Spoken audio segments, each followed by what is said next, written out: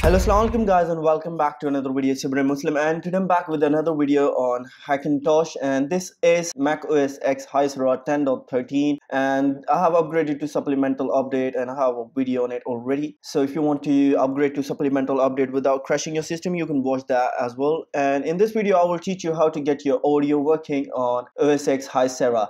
So the procedure uh, got real easy this time and you only need two or three different things. The first is Clover Configurator. Once you have downloaded this, you can just go to your EFI and mount it.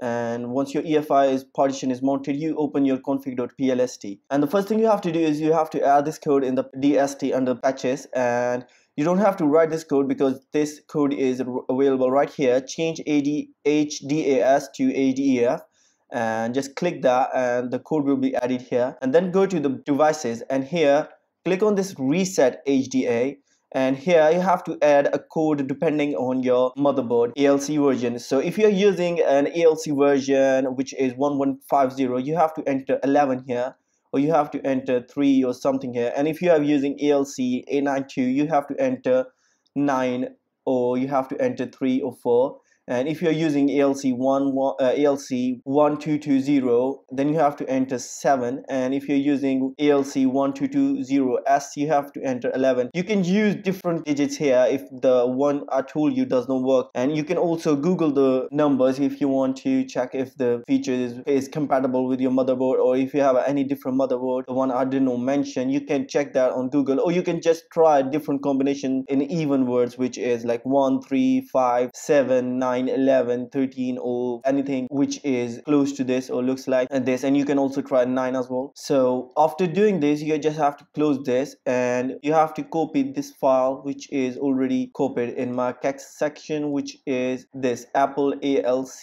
and you have to copy this AppleALC i will add this file link in the description below. And you have to enter this Lilu and if you want to have HDMI audio because this text work correctly and just fine. You can add this for HDMI audio as well. So you have to enter these three keys into this keys into this folder of your Clover Configurator. Open your EFI partition go to the EFI Clover 10.13 kexts 10.13 and here you have to enter these files.